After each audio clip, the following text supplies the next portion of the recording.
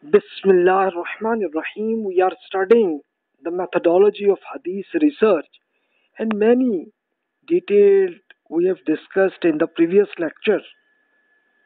Today we'll further see we are studying this Hadith research HS02 book about it that how we should identify it as in the previous lecture I mentioned that how the reports about the Prophet وسلم, and his bibliography, how it was mentioned and how it go to different generations and but unfortunately that many persons conducted fraud hadith reports some spam reports so how you can check it all this method i have mentioned you and also in the previous lecture, I mentioned that what was the reasons people created spam reports.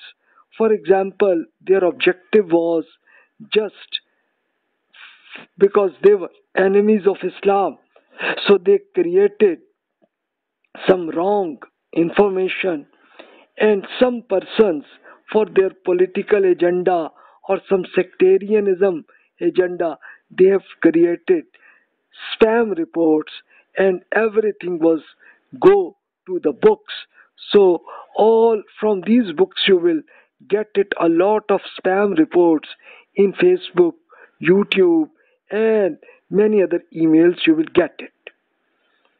So i mentioned in the previous lecture that you'll have to check two things one is called dirayat. Dirayat means that the hadith report match with the Quran logic and authentic hadith reports or not.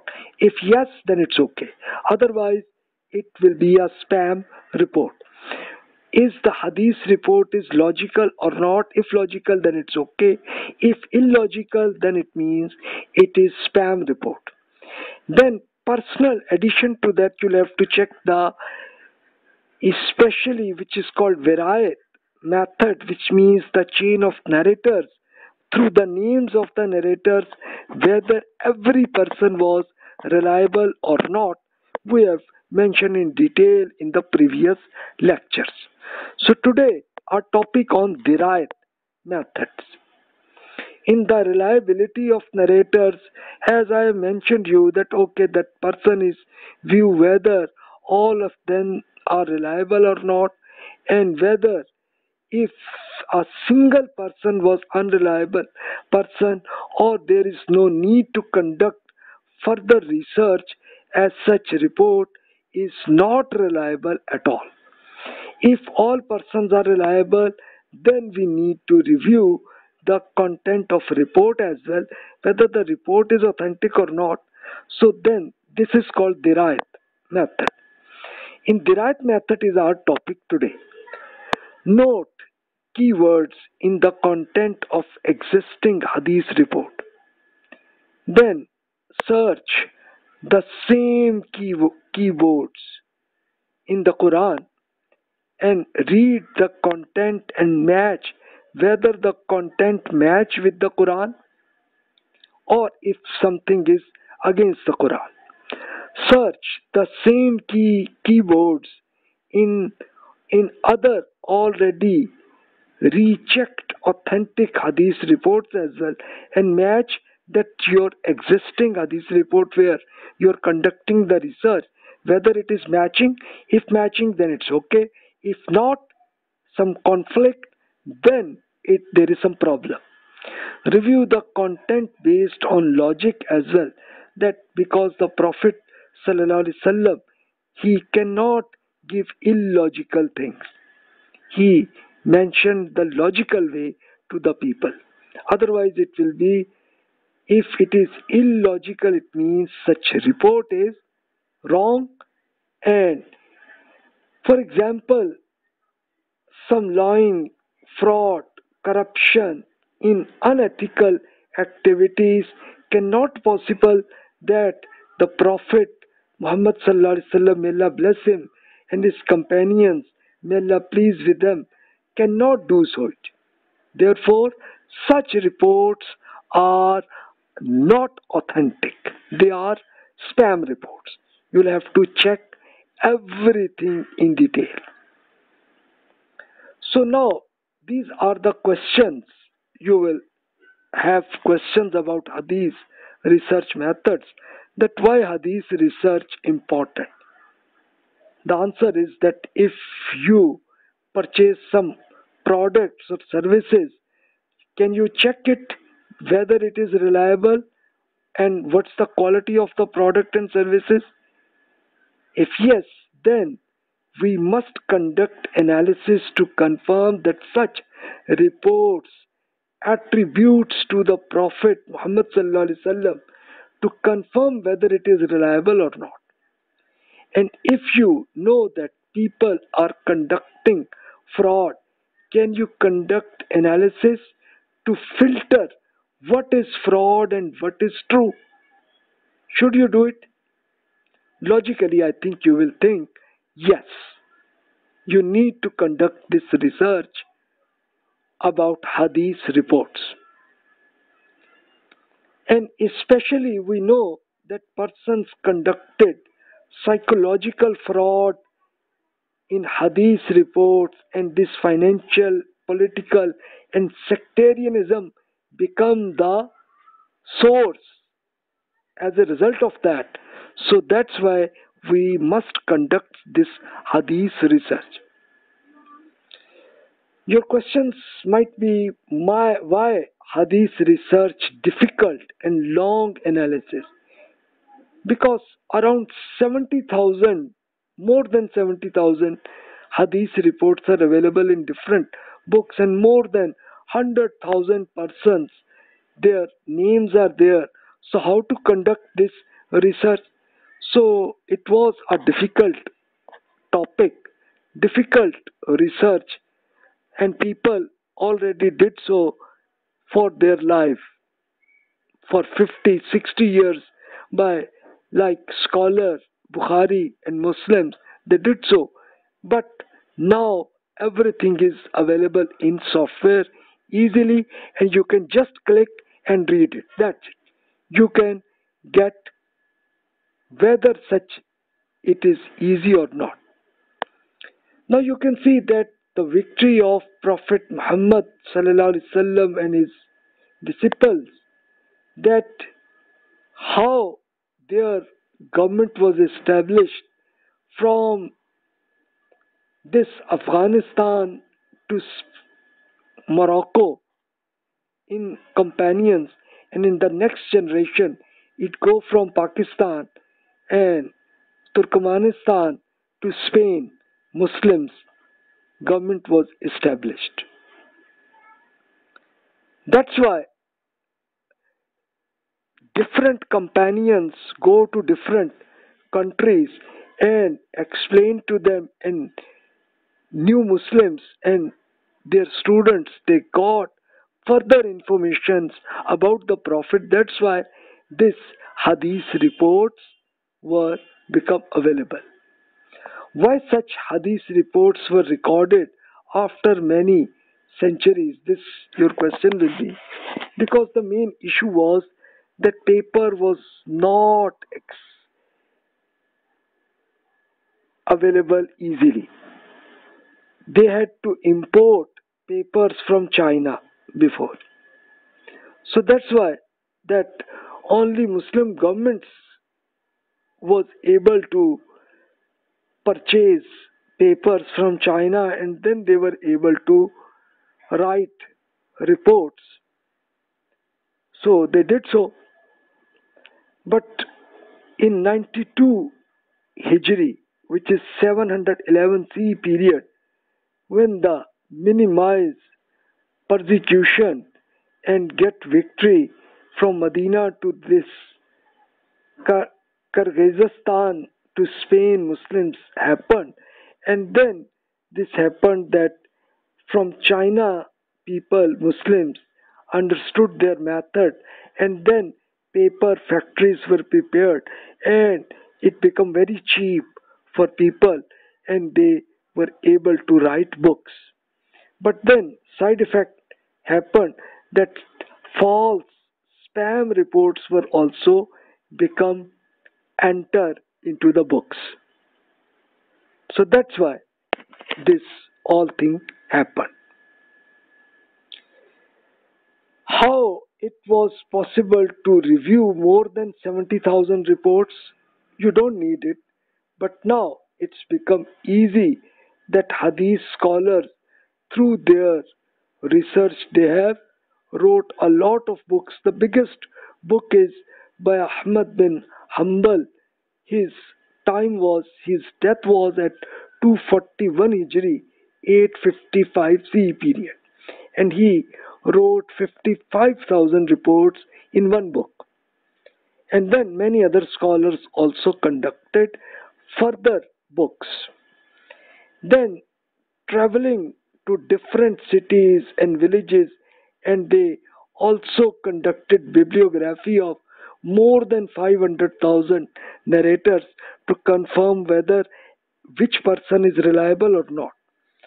So the biggest quality of researchers conducted by Bukhari, his death happened at 256 Hijri, 870 CE period. And Muslim also conducted the biggest quality, his death at 261 Hijri, 875 CE period. Then conducted matching further in books, further, and this already happened at 150 Hijri, which means 767 CE to, to today, you can conduct research. And right now, all this is available in software, and you can just click it and you can get report and further detail of each narrator whether this narrator is reliable or not you can check it. And the content of the report you can read it and you can match further in other hadith authentic reports as well match with it. And you can also match with the quran as well. So it become easy for you. Your question may be that why some notable companions minimized reports like Abu Bakr, Umar, radiallahu may Allah please them. Because they were very careful persons and they wanted to avoid any mistakes about the prophet that's why they did. But some companions who had conducted the career in education. So that's why they wrote a lot of books in their diaries and they explained further for 40 50 years to their teach students. So as a result of that become easy for them.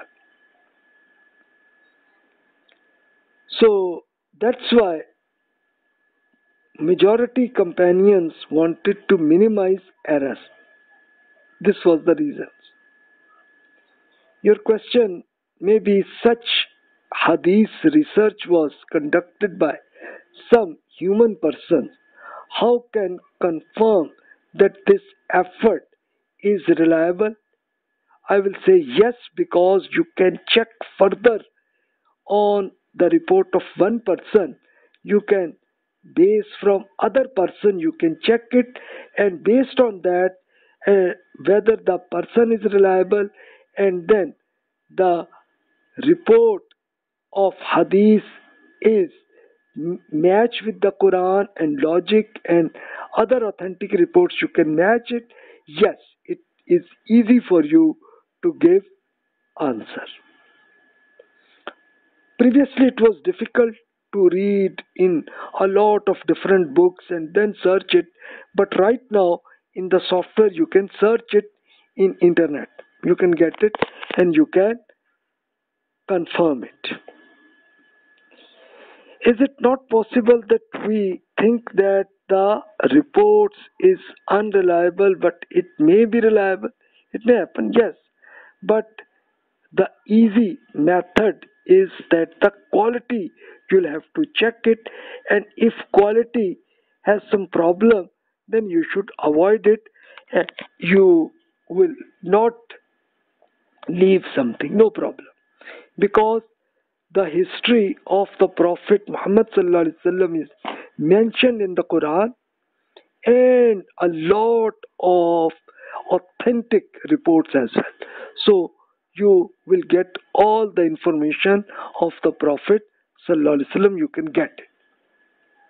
Large persons assumed sectarianism and they conducted war with each other. The source of sectarianism is spam reports. It is confirmed.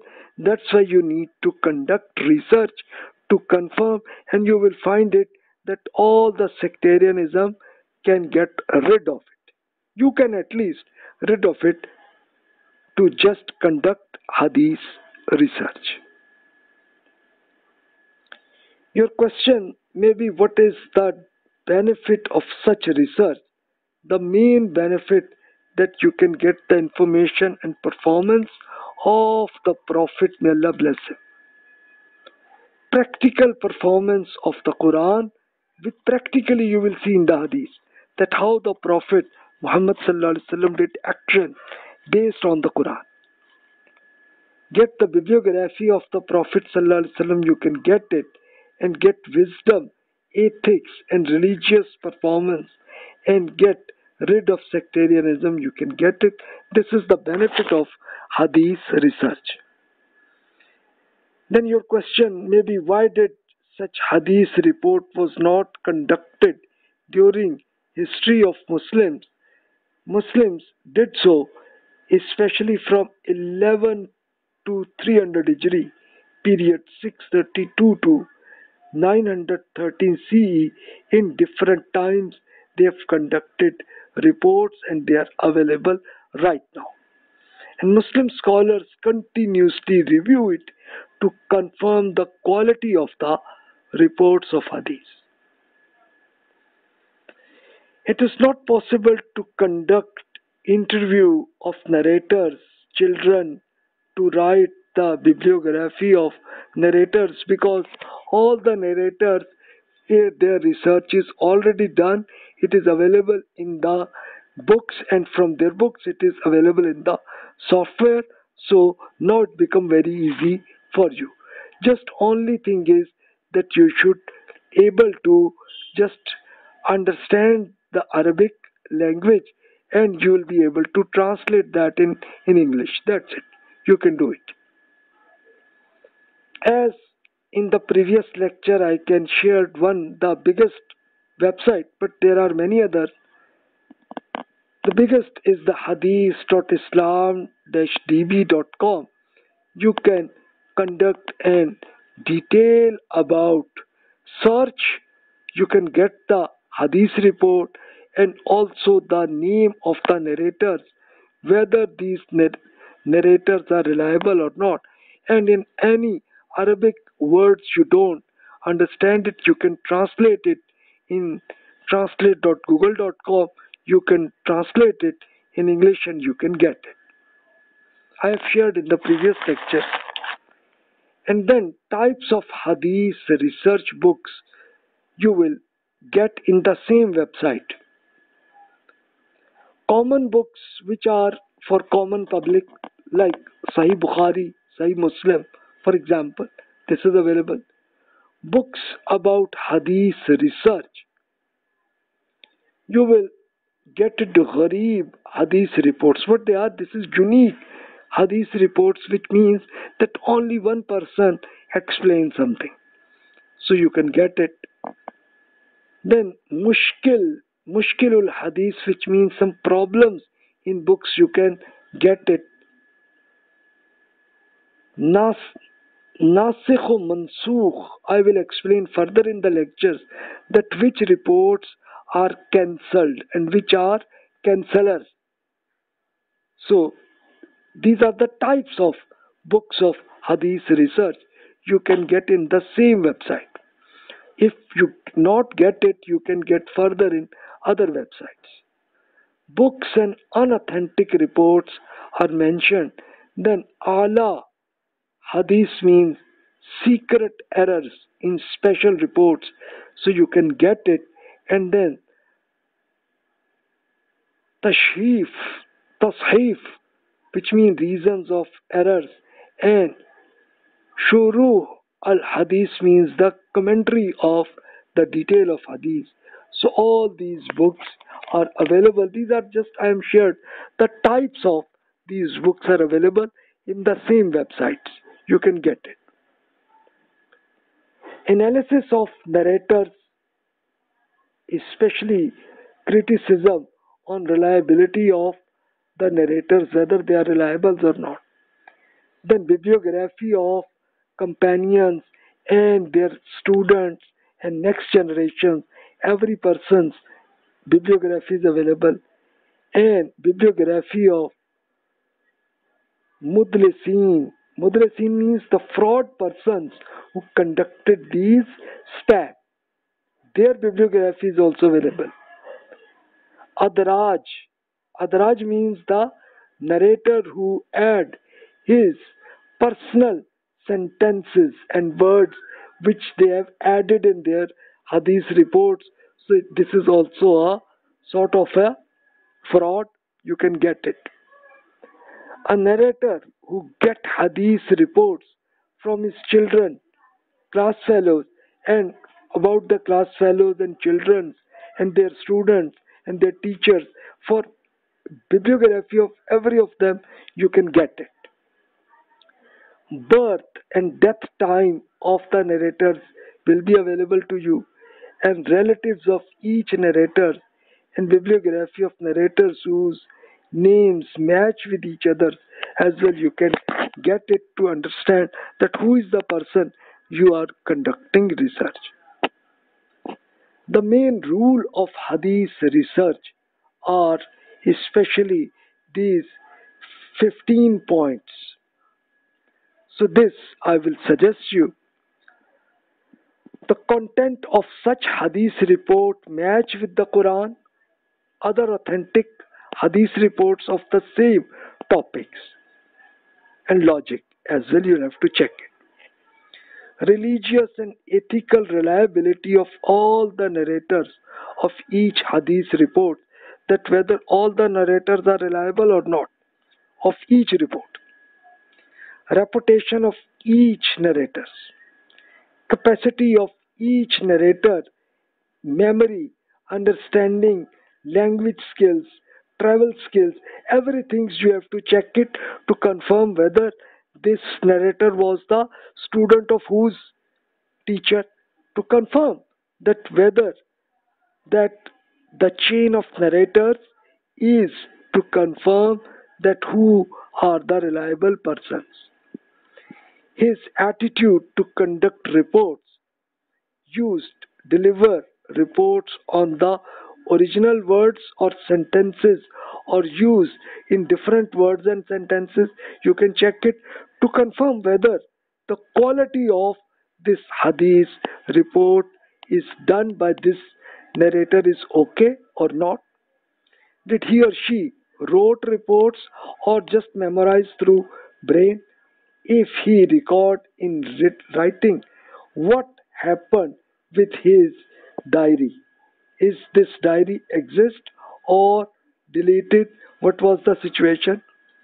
Then changed his her memory skills during time to time and timeline of changes of his or her further skills. His or her reports and reports of the class fellows as well to check it to confirm whether all the class fellows the same report match. If match then it's okay. Otherwise it may be some problem. Any negative comments about his friends or class fellows and neighbors? You'll have to check it. Then you'll have to check the chain of narrators is complete which means that all the persons whether the chain of narrator is complete just as an example in the red color you can say from mr b and mr d some missing person is there which means the chain of narrators is not complete you have to check did he or she was part of political or sectarianism, gang or not. If they are part of gang, then this person is not reliable. Was it possible that he become student of so and so teacher? Should confirm whether he is the student of that so you can confirm that okay the chain of narrators is correct if he his hadith report does not match with the hadith reports taught by class fellows which means there is some error so you can avoid it is it possible that the narrator was able to understand such hadith report which he or she delivered. I give in the previous lecture an example. Mr. B mentioned that I get report from Mr. D, but was it possible Mr. B was able to become student of Mr. D? Was it possible? Because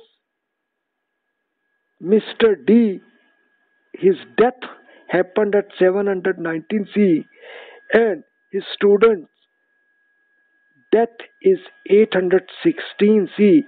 So it means that mr b if his life happened for 150 years then it's okay but mostly it not happen. So it means that this is not possible that mr b is a student of mr d. No how many mistakes he has already done in different reports you need to check it but you will say how I can get it for Mr. B let's suppose if let's suppose Mr. B is if his name of this let's suppose Adam bin Abdullah just click it you will get it all the information then for Mr. Adam bin Ali you will click it you will get it such information about it and you will all these 15 questions I have mentioned. So you will get the answer. Then you will mention whether the hadith report is authentic or not. So whatever questions, feel free to ask me in the email. Uh, inshallah, in the next lectures, we will further see the methodology of hadith research असलकम वरहमल वबरकू